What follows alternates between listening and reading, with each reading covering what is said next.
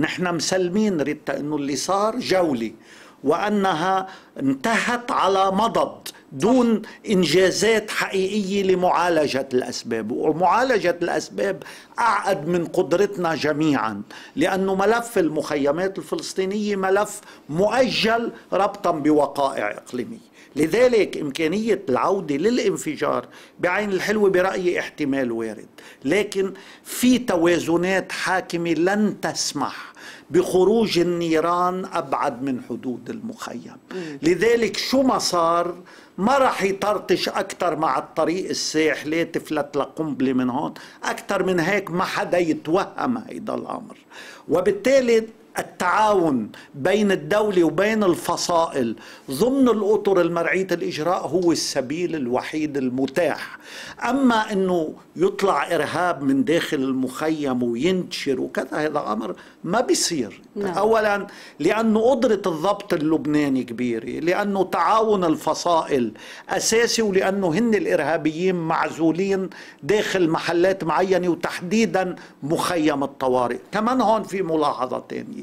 انه في قوى أو مراكز قوى داخل حركة فتح بقيت على جنب. ما تدخلت منهم اللينو اللي قاعد بحي الصفصاف ومنهم منير المقدح ومنهم يعني قوى تانية مؤثرة. لذلك أي جولة تانية هدفها بيكون إعادة التوازن لما ما قبل الجولة الأخيرة. يعني حضرتك لا تخشى من المشهد الأمني. لا, لا بعين الحلوة ولا بغير عين لا الحلوة. لا خليني جاوبك على موضوع هيدا اللي صار بحي السلم عشية عاشوراء ذكرى استشهاد الإمام الحسين عليه السلام. كان في معطيات كثيفة عم تجي للأجهزة الأمنية اللبنانية وأنا ما بخفيك بإحدى الليالي في جهاز أمني لبناني حيوي ما ناموا.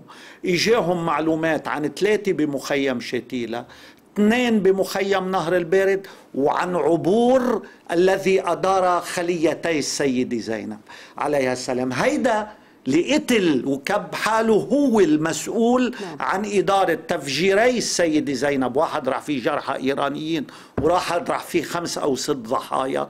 هيدا بقي متابع بكل حركته حينما عبر خلسة انتبه إلى لبنان. وأخيرا تم ضبطه بحي السلم الغريب إنه المبنى اللي ضبط فيه علو سبع واطئ عادة بحي السلم.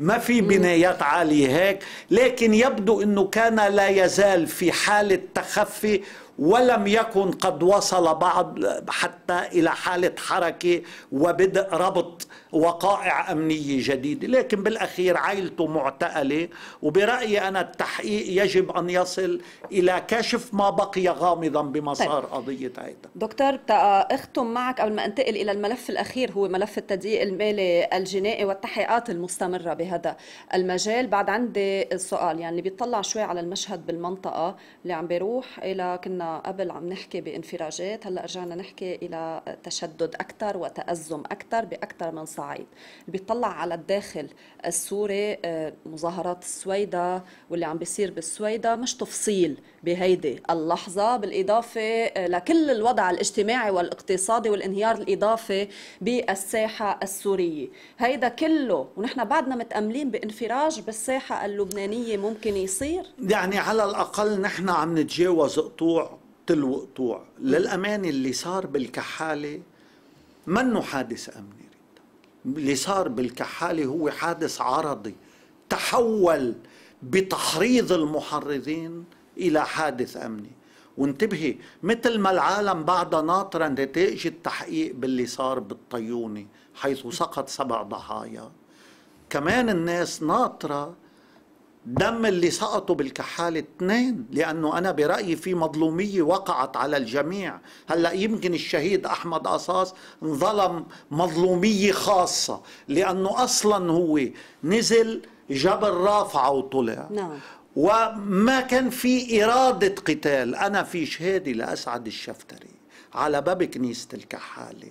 مدتها دقيقة سمعت على أحد المواقع. وهو عبر بهي الشهادة أنه أنا صديق شخصي لفادي بالجاني وأنه العالم ساعتين بقيت حد الشاحنة عم تحكي مع بعضها وما في توتر ولا في سلاح ولا في شيء. بيقول في شيء صار. سالته شو اللي صار؟ قال لها أنا ما بدي أحكي خلي خلي غيري. إيه شو اللي صار؟ أنا قريت عم بحط هيدا المعطى لأقول إنه العالم ناطرة نتائج التحقيق وإنه حزب طيب، ما هو معروف حزب الله. بادر بادر لإخضاع عناصره عند الجيش للتحقيق من قبل مديرية المخابرات. قبل ما الأربعة المطلوبين كشهود بين مزدوجين من الكحاله إجوا وهون أنا برأيي مطلوب ألا يصل تحقيق الكحاله إلى ما وصل إليه صحيح. تحقيق الطيور طيب دكتور معلش معودين عليك بجرأتك وصراحتك واضح إنه عم تقول حضرتك في شيء صار أكيد. وواضح إنه هيدا الإشكال ما بلش أو هيدا هيك ال- الوضع المقلقز ما صار إلا من بعد ما تسرب خبر إنه هذه الشاحنة فيها هي سلاح. فيها سلاح وهي تابعة لحزب الله. مين اللي سرب معروف. بكرة بتبين إذا أعلنوا نتائج التحقيق. بتبين. بس معلش يعني ما هو في لأنه- جهتين بس بيعرفوا شو فيها لأنه الشاحنه لأنه لأنه لقول لك ليه. لما الأمر أشير إليه بالبنان مش بس عبر محطة بعينها سميت بالمحطة الخبيثة. لكن كمان في حدا وصل. آه، هلأ حتى نحن ما نظن وما نستبق الأمور وما ما نحرص على إنه أنا حكيت قبل هلأ عن سلك أمني تولى تسريب هذا الأمر. واللي بيعرف بلغة الأسلاك سهل يفكفكها اثنين اثنين وهون بكل أسف. العالم بدل الكحالة كوع في عالم بدل الكحالة كوع نحن بنا الكحالة مثل ما بنعرفها بلد وطنية ضمن نسيج واسع مترابط مع بعضه البعض وهيدا النسيج بالمتن الجنوبي طبعاً. ساحلا وجبلا. كان له دوره بلحظات وطنية مؤثرة ولم يزل عرفتي؟ ونحن دم فادي بجاني ما أغنى المسيرة. بالعكس هيدا دم مظلوم مثل ما دم أحمد قصاص مظلوم. نعم. لكن الجريء اللي بيطلع وبيقول هيك مش بيطلع بيعمل مؤتمر صحفي بقلب مكتب حزبه بقلب الكحالة ليذكي نيران الفتنة ويستثمر أكثر بهذه النيران. هون موقف الكبار بتشوفيه وبتوزنيه.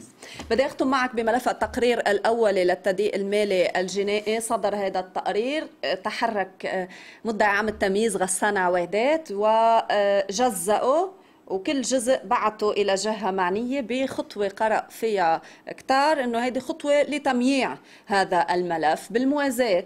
يعني ما بعرف بهذا البلد بعدنا عم نسمع لليوم إنه آه، رياض سلامة آه، حاكم مصرف لبنان السابق لم يتبلغ ما عثرت عليه ما عثروا عليه بعد تيبلغوه بجلسة 29 الشهر المرتقبة هلأ هون في ثلاث ملاحظات نعم. نعم. يجب ايرادها انه أخيرا التقرير أصبح متاحا ومعلن وبين أيدي الجميع وكل واحد فيه يقراه ويبني عليه أنا بدي أسأل ثلاث أسئلة غير بريئة أول سؤال لماذا نشر التقرير بعد انتهاء ولاية رياض سلامة بالحاكمية؟ واحد. اثنين الأمريكان ليش دخلوا على الخط وأخذوا عقوبات على رياض سلامة بعد انتهاء ولايته؟ كيف؟ 30 سنة له بالحاكمية وهو معروف إنه أمريكا ماسكة البلد صح. بأداتين كبيرتين أداة مالية وأداة عسكرية, عسكرية. وبالتالي هي مش مهتمة إلا من خلال هذا الإطباق إيه ليش شو قراءتك البعض اعتبر إنه هذه نهاية عملاء آه، آه، هلأ إذا أنت. بدك تقري عبر وتستخلصي وتتشفي فيك تقولي هيك لكن فيك تقولي إنه أمريكا مش أنا أنا ما بتبنى أنت إيه كمراقبة طبعاً. ما أنا وياك درجتنا مواطنين نعم. وأنا برأيي هي أعلى رتبة ممكن يفتخر فيها طبعاً. الإنسان على كتفه لا لقب مدعى ولا دنيا بالعكس الانتماء لوطن نحسن الدفاع عنه هذا أكبر شرف إيه. لنا شو القراءة؟ أنا ليش وياك أمريكا عم نقرأ تصرفت هيك؟ كمواطنين أمريكا لأنه لا تريد أن تركب بمركب اتهام رياض سلامة إلا بعد انتهاء دوره الوظيفي بالنسبة لها وبالتالي فعلا للأسف أمريكا هكذا تتعاطى مع من يفترض أنهم ساعدوها على تنفيذ سياساتها. هلأ أنا ما بدي أجزم إنه رياض سلامه عمل لها كل شيء بدها إياه لأم- لأمريكا.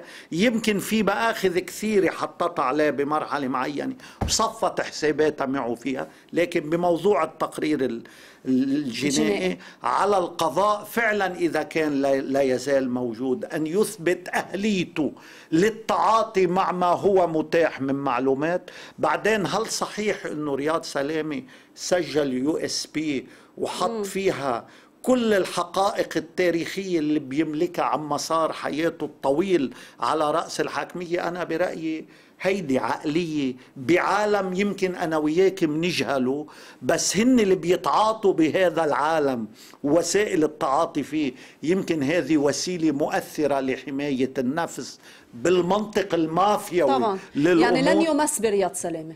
بستبعد بستبعد لأنه بالأخير ما كان للنهاية أن تكون على هذا الشكل إلا إذا كان في ضمانات غير مرئية بألا يمس به. مم. لذلك هذا مسلسل تشويقي طويل لن نصل به إلى النتيجة المرجوة. لأنه هكذا نوع من العوالم والشخصيات لا تنتهي بالكشف على ممتاز. التقرير أه، المتعلق بالتدقيق الجنائي بحسابات مصرف لبنان. يفتح باب المحاسبة ولا برأيك؟ خلص يعني هلأ كله اليوم مثلا شفنا إخبارات للقوات اللبنانية آه، أكثر من جهة تتحرك بوقت يعني هيدي ما فيها ما فيها مبالغة القول من هو أب التدقيق المالي الجنائي واللي هو الرئيس العماد ميشيل عون هيدي هلأ كلها عرضات يعني عم نشوفها من الأفرقاء الآخرين ولا فعلا بنروح فيها لمطرح نحكي فيه عن محاسبة بهذا البلد؟ أنا بتمنى مم. كمواطن إنه نكون أمام مفترق. يفرض علينا هذا التقرير في أن نذهب إلى حياتنا العملية وطريقة تعاطينا مع الدولة ومع المؤسسات بنموذج وعقل مختلف. لكن لأنه بعدنا بذروة الدولة العميقة الحاكمة بالبلد ما حدا يعني يتفاجأ إنه رح نشوف مسلسل فولكلوري. كل واحد فيه بجرب يقدم حاله نبي.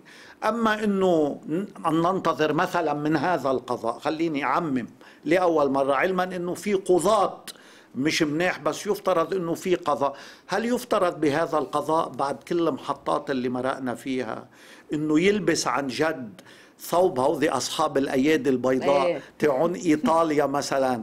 ويقرروا فعلا يقدموا للشعب اللبناني نموذج يخلينا نشعر إنه في مستقبل لأولادنا بهذا البلد. أنا بتمنى. وعبر أثيرك على الملأ كائنا من كان الذي ستطاله التهمة. لكن هذا لبنان بكل أسف.